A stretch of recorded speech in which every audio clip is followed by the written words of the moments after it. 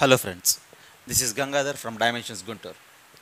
In this class we are going to discuss explanation for quantitative questions from CGL 8th paper. So usually the questions are from 51 to 75. Let us see the first question which is 51st one. In this 51st question, they asked us to find the remainder when 4 power 44 is divisible by 50, 15. When 4 power 44 is divisible by 15, they asked us to find the remainder. Okay. And we discussed one logic in the previous papers that if you have an expansion that 1 plus x to the power of n, then we can express it like 1 plus multiple of x. So 1 plus x to the power of n is nothing but 1 plus multiple of x. So in, in the same way, this 4 power 44 can be expressed as 4 square to the power 22, which is nothing but 16 to the power 22. We can express this 15 as 16 as 1 plus 15 to the power 22. So 1 plus 15 to the power 22 by this logic can be expressed as 1 plus multiple of 5. So 4 power 44 is 1 plus multiple of 5. So when this is divided by the 5, 15, your remainder is 1. So your answer is 1. This is 51st question. And the next one is 52nd question. 52nd question. A milkman wants to make a fast buck by using a false measure. He is using a false measure and measures only 900 ml instead of a liter. Instead of 1 liter, he is measuring only 900 ml in the selling. If his cost price and selling price per liter of the milk are 10 rupees and 12 rupees respectively, what is his daily profit and profit percentage if he sells 20, 20 liters in one day? In one day, he is selling 20 liters and they ask us to calculate the profit and profit percentage, daily profit and profit percentage. That means for this 20 liters, we need to calculate the profit. And in the problem, it is mentioned that he is measuring only 900 ml instead of 1 liter. That means he will sell only 900 ml at the selling price of 1 liter. Okay. So, as per the given problem, cost price, cost price of 1 liter, 1 liter is nothing but 1000 ml. Cost price of 1000 ml is rupees 10 as per the given problem. Okay. But actually, cost price of 1000 ml is 10 rupees, then the cost price of 900 ml is just 9 rupees. Since the cost price of 900 ml is 9 rupees, the, the milkman is selling only 900 ml for the selling price of 1 liter. So, selling price of this 900 ml is nothing but the selling price of 1 liter which is given as 12. Okay. So, finally, cost price of 900 milliliters is 9, selling price of 900 milliliters is 12 rupees, whereas the profit is 3 rupees per liter. 3 rupees per liter. Okay. Since the profit is 3 rupees per liter, then for 20 liters the profit is 20 into 3, 60. So finally, the profit is 60 percentage. And the next case, they ask us to calculate the profit percentage. Profit percentage is nothing but profit divided by the cost price. Cost price is what? 9 rupees per liter. Per 20 liters, it is 20 into 9 into 100 is the profit percentage. So finally, profit is 60 rupees and profit percentage is 100 by 3 percentage and your option is B. Okay. And the next one is 53rd problem. Coming to 53rd problem, the average of 8 members is 25. Since the average of 8 members is 25, sum of those 8 numbers is 8 into 25. That of the first two is 20. For the first two numbers, average is 20. So sum of the first two numbers is 2 into 20. Okay, and the next 3 is 26. The average of next 3 is 26. So sum of the next 3 numbers is 3 into 26. The sixth number is less than the seventh by 4 and less than the eighth by 6. Okay, where the sixth number is less than the seventh by 4. So seventh number is 4 more than the sixth number. And the same manner, they mentioned that sixth number is less than the eighth by 6. That means eighth number is 6 more than the sixth number. So these are the first two numbers, next three numbers, and let the sixth number as x. If the sixth number is x, then the seventh number is x plus 4, whereas the eighth number is x plus 6. They ask us to calculate the last number. Last number means x plus 6 we need to calculate. Before that, we have to find out the value of x. So simply 25 into 8 is 200, whereas 20 into 2 is 40, 26 into 3 is 78, plus 3x plus 10. From there we can calculate the value of x. Okay, 40 plus 10 is 50, 120, 128, whereas 3x is equals to 72 and x is equals to 24.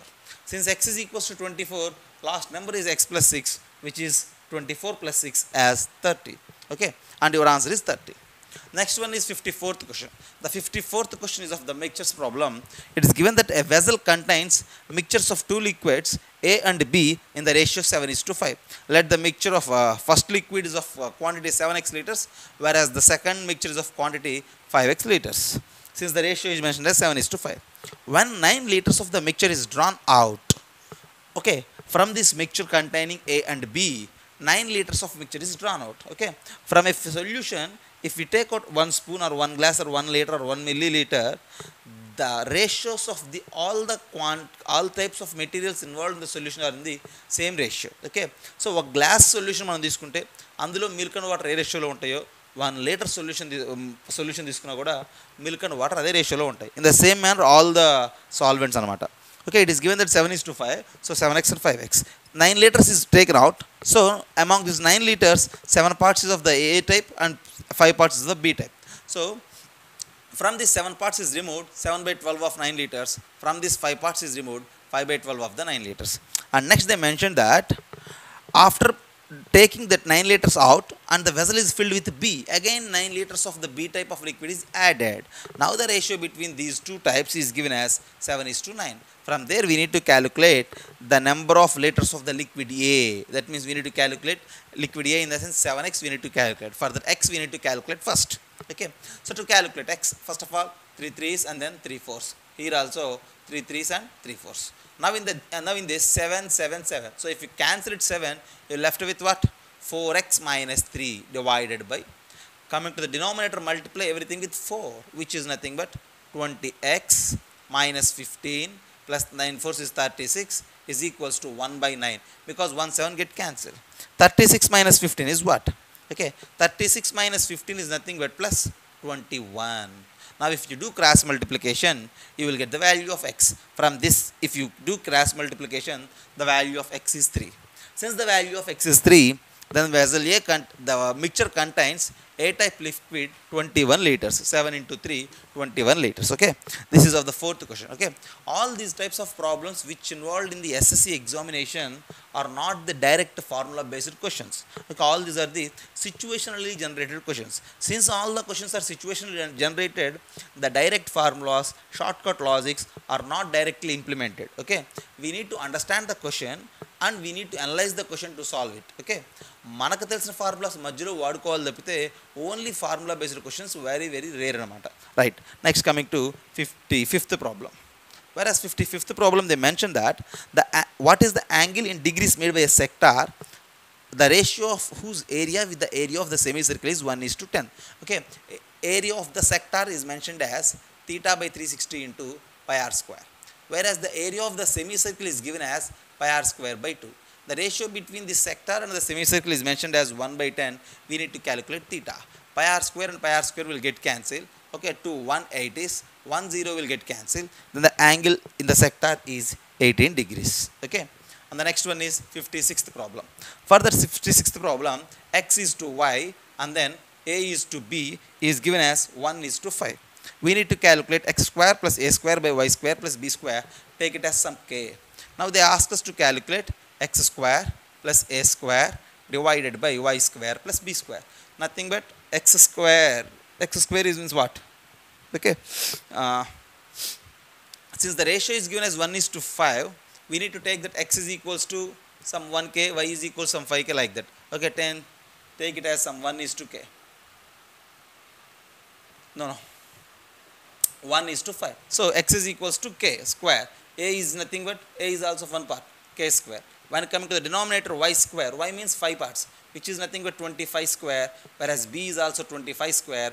And if you simplify 2k square by 50k square. K square plus k square is 2k square and then 50k square. K square will get cancelled.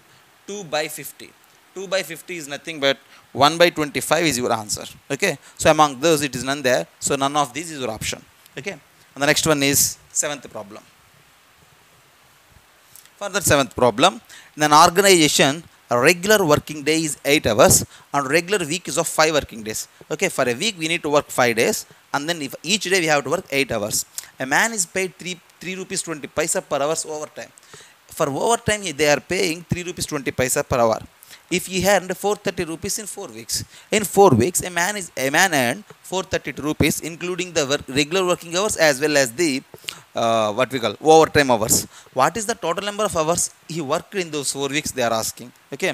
In the problem, the payment for the uh, additional hours, overtime is given, but the payment for the normal working hours is not mentioned. Since the payment for the normal working hours is not mentioned, then we can't find the number of hours from the given amount 432 rupees. So your answer is concept, data insufficient. Okay. And the next one is 58th problem. Whereas coming to the 58th problem, excluding stoppages, the speed of the bus is 50 kilometers, 54 kilometers per hour, and including stoppages, it is 45 kilometers per hour. What is the stoppage time for the bus in minutes per hour? Okay, actually the question is very beautiful. Okay, why? Because usual time and distance problem చిన్న లాజిక్తో మెలుగుపెట్టడం జరిగింది ఇక్కడ అయితే నార్మల్గా questions ఈ క్వశ్చనే చాలా మంది చూసుండకపోవచ్చు ఇన్ ద సేమ్ టైం చూసినప్పుడు కూడా ఎక్స్ప్లెనేషన్ డిఫరెంట్గా దొరుకుండొచ్చు బట్ వెరాజ్ హియర్ స్టాపేజెస్లో ట్రైన్ ఆగుతూ వెళ్ళటం వలన okay the actual distance in one hour due to stoppages the speed of the train is forty five kilometres per hour without stoppages it is 54 kilometers per hour that in the sense in one hour without stoppages it travels 45 kilometers okay with stoppages without stoppages it has it will travel 54 kilometers per hour ఎక్కడ ఆగకుండా travel చేస్తే one అవర్లో it the train travels fifty four kilometres in with stoppages it travels forty five kilometres in one hour so due to the stoppages nine kilometres the difference between fifty four and forty five nine kilometres lack అవుతుంది train. So due to these stoppages nine kilometres వెనకబట్టడం వలన time taken to cover these nine kilometres is the time where when the tie when the train stops in the stoppages okay so actually the train అనేది nine kilometres వెనుకుంది కాబట్టి ఈ nine కిలోమీటర్స్ని train cover చేయాలి. Actual speed of the train is fifty four kilometres per hour this is the nine kilometres distance and this is the time uh, what you call speed 54 kilometers per hour. If you divide you will get it as 1 by 6 hours. 1 by 6 hours is nothing but 10 minutes. So the train due to stoppages the stoppages the stoppages time of the bus is mentioned as 10 minutes. Okay? Then next one 59th problem.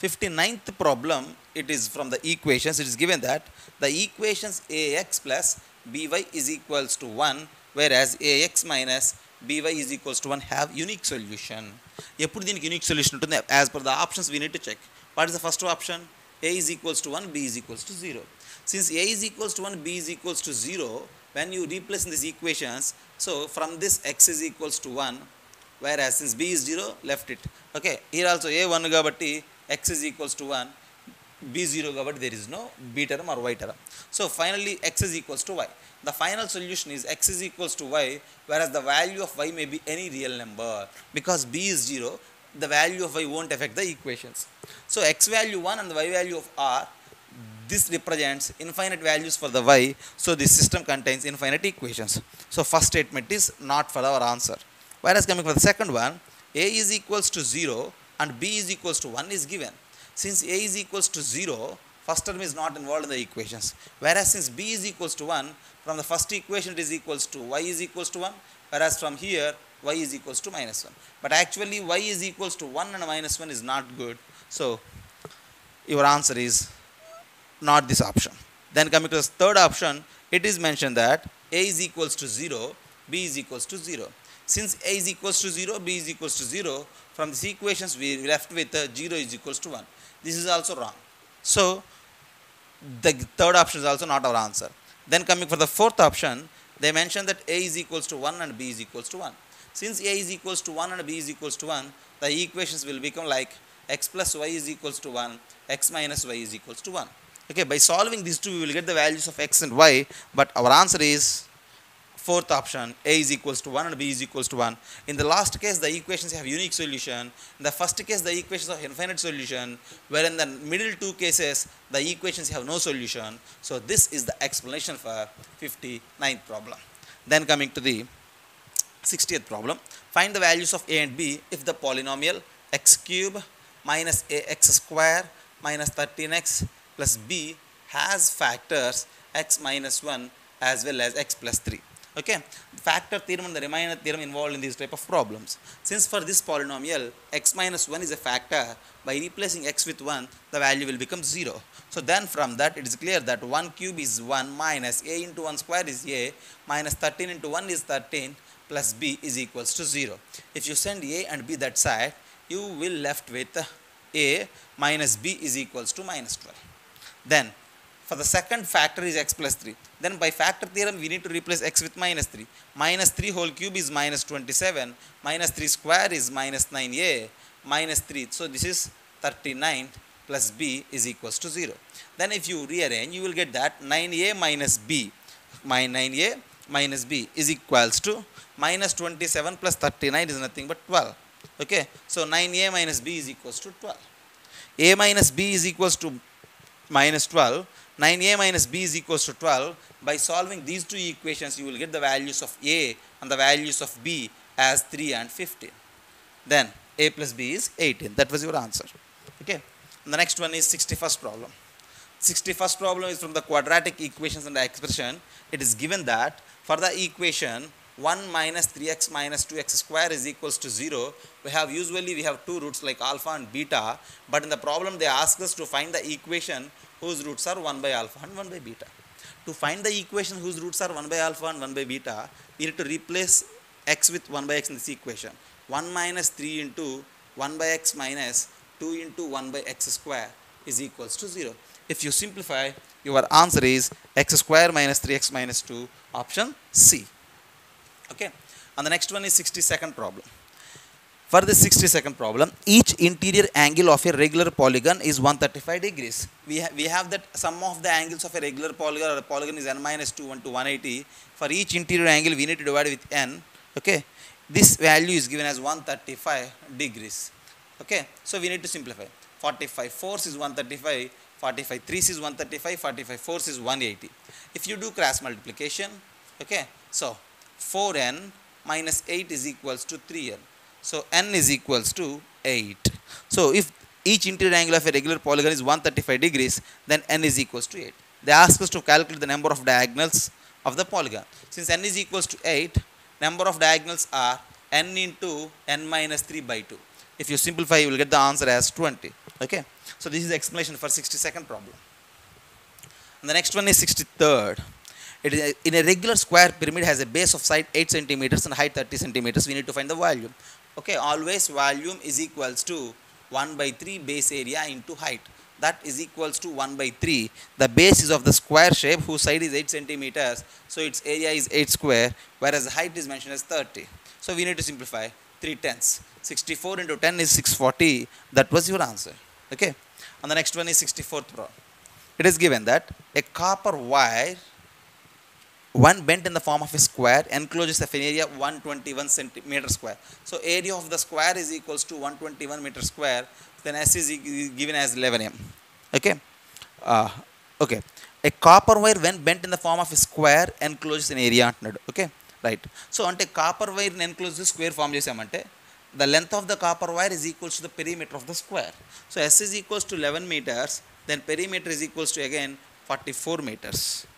Okay since perimeter is equals to 44 meters, okay, the length of the wire is also 44 meters. If the same wire is bent in the form of a circle, the area enclosed by it would be అడుగుతున్నాడు is the same wire is converted in the form of a circle so which is pi r square so 22 by 7 perimeter is 44 right mm. no no so perimeter kada 2 pi r కి equal చేయాల్సి ఉంటుంది so 44 is equals to 2 into 22 by 7 into r whereas radius is equals to 7. After finding radius as 7, we need to calculate the area by using pi r square. From there you will get that your answer is 154 meter square. Then 65th problem. It is given that from the top of a cliff 25 meters high, we have a cliff of height 25 meters from the top of the cliff we have, we have here. Okay. The angle of elevation of a tower is found to be, we have a tower somewhere the angle of elevation to the tower is found to be equal to the angle of depression of the foot of the tower. From there, the angle of depression is something like here. These both are equal, alpha and alpha. Okay, okay. If you join these things,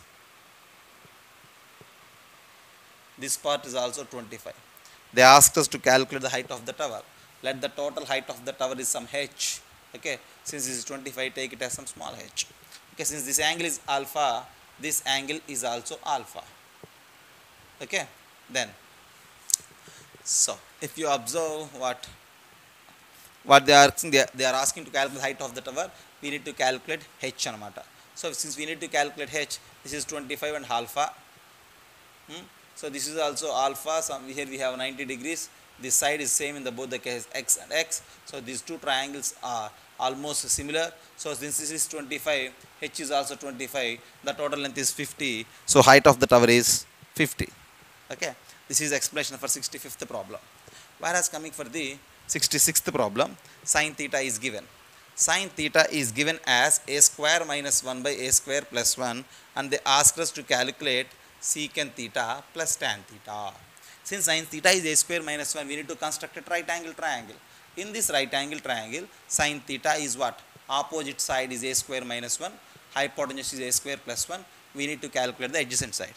This adjacent side can be calculated as a square plus 1 whole square minus a square minus 1 whole square. So which is 4a square nothing but 2a okay. So the adjacent side of the triangle is 2a they ask us to calculate secant theta secant theta is what? Hypotenuse by adjacent side. So it is given that a square plus 1 by 2a whereas tan theta. Tan theta means opposite side by adjacent side. The denominator is same. Minus 1 plus 1 will get cancelled. 2a square divided by 2 and your answer is a. This is explanation for 66th problem. Okay direct trigonometric problem. And the next one is 67th problem. It is from the compound interest. For this 67th problem they mentioned that a sum of 8400 rupees gives a compound interest of 1764 in 2 years compounded annually. What is the rate of interest? In this problem we are going to calculate the rate of interest okay? Interest is given principal is given final amount is not mentioned whereas the in compound interest the formula is applicable for the final amount. The final amount is principal plus the interest which is equals to principal of 1 plus rate of interest is not mentioned. We need to calculate r by 100 whole square okay. 8400 plus 1764 is nothing but 10164 divided by 8400 is equals to 1 plus r by 100 whole square. If you cancel with 7 then with 12 like that if you cancel you will left this value as 121 by 100 so since this is 121 by 100 we have that 11 by 10 is equals to 1 plus r by 100 okay. And on simplification you will get the rate of interest as 10% okay? This is the explanation for 67th problem. Then coming to 68th problem. In a competitive examination in state A 60% candidates got selected from the total appeared candidates. State B had an equal number of candidates appeared and 7% candidates got selected. Okay with 8 more candidates got selected than A. What was the number of candidates appeared from each state? Suppose the number of candidates appeared are some x then uh, then selected candidates from A are 6% of x, selected candidates from B are 7% of x, the difference is given as 80. So 7% of x and the 6% of x is 1% of x is 80. So x is equals to 8000. So the number of candidates appeared is 8000. Okay. And the next one is 69th problem. For the 69th problem, okay, we have a square, okay, and then an equilateral triangle on the square. That means all the sides are equal here okay?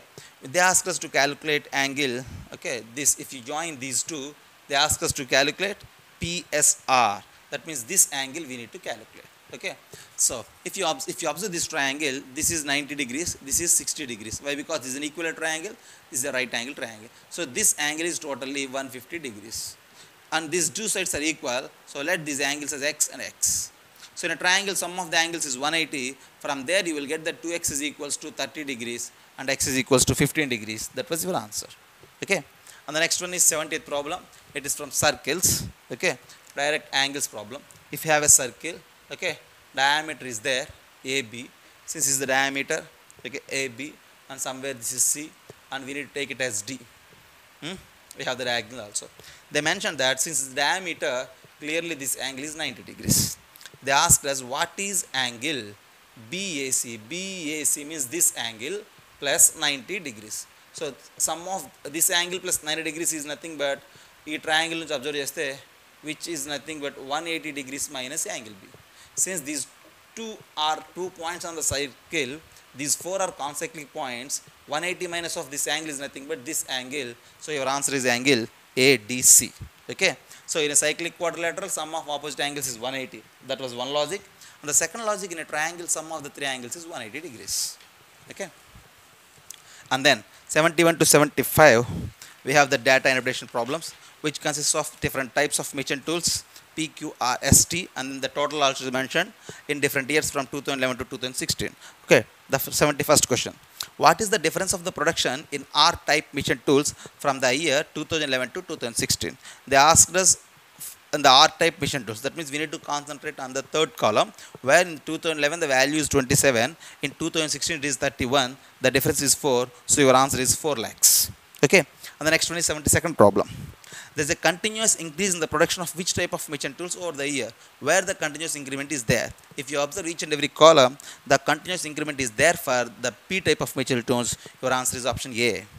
Then 73rd problem the total production of P type of machine tools in 2013 and 2014. In 2013 and 2014, P type of machine tools is 21 plus 24 is approximately how many percent of the production of R type of machine tools in 2015. In 2015, R type of machine tools 32 into 100. If you simplify, you will get your answer as 140 percentage. Okay. And the next one is what is nearly percentage increase of R type of machine tools from 2013 to 2014. 2013 to 2014 R type of machine tools indicates the 24 and 34 value. So the percentage increment is 34 minus 24 divided by 24 into 100. If you simplify, you will get your answer as 40 percentage. The last question of this session, 75th one. In 2014, how many percentage of the production of T type of machine tools? T type of machine tools in 2014 is given as 29. Okay. Ah. Is when compared with the total production of the machine tools of the same year. For T, the total production, okay, no, no, in the same year they are in 2014 the total production is given as 144 so we need to compare this 29 with the 144 okay 29 5 is 145 approximately. So this is approximately 1 by 5 and its value is approximately 20 percentage and your answer is 20 percentage. So finally this is the explanation for CGL 8th paper. Thank you. Thank you very much